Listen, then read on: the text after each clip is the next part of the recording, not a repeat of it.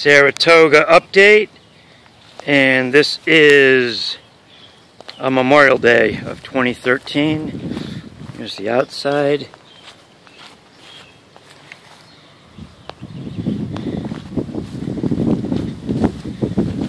The outside nice landscaping. Of course new roof all new soffit fascia uh, new windows new doors,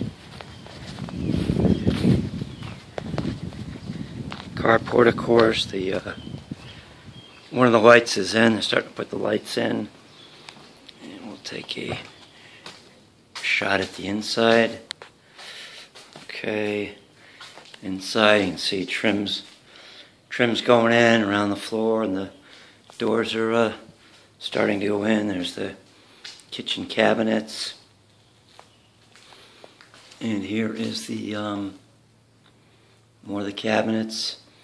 That's uh, all covered up, but that's the uh, the microwave, which goes right there.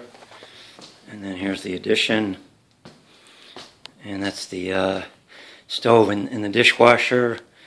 Got them covered up, I guess, for a couple more days. Of course, you can see all the flooring. A lot more